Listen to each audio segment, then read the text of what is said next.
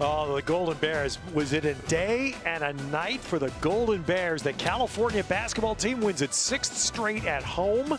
They have a winning record heading into finals.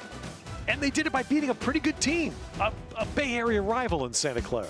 From the moment the sun peeked over the Berkeley Hills just behind us, this promised to be a better than perfect day, all the way to the sunset over there at the beach.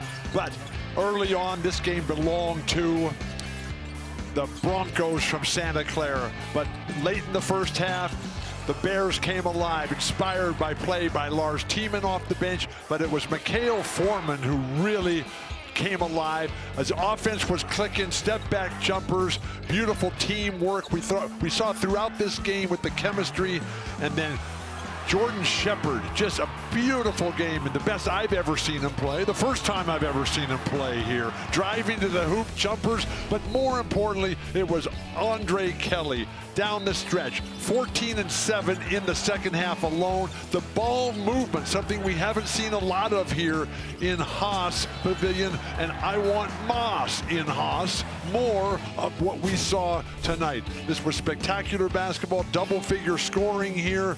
Three, the, the best three players for Mark Fox here. And the Bears win 72 to 60, 18 points, 14 of those in the second half for Kelly. Shepherd was magnificent. Don't discount the six assists. And Anticevich was everywhere, as was the lineup of the Bears standing, protecting the upriver.